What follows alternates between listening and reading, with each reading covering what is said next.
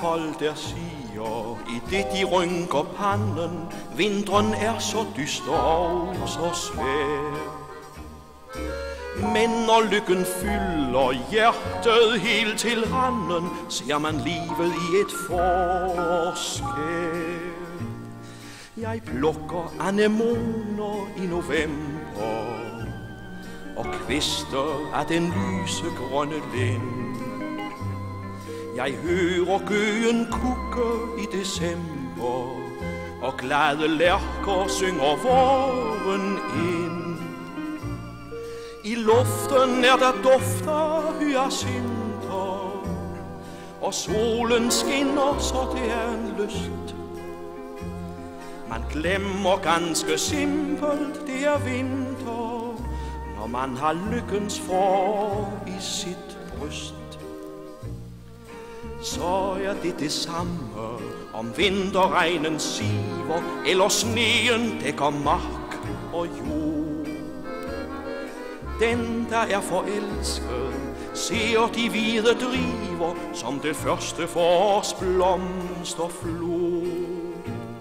Man plukker anemoner i november, og kvister af den lyse grønne lind.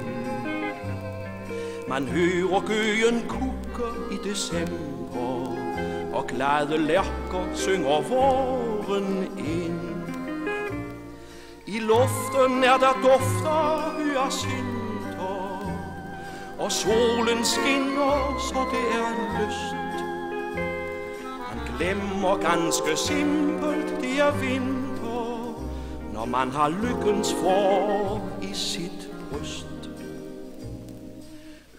Det alle sammen, lad kærligheden råde, føl dens lyse kalden, hvis I kan.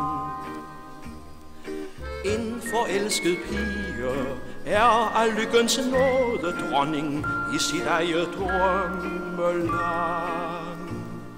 Man plukker anemoner i november og kvister af den lyse grønne lind.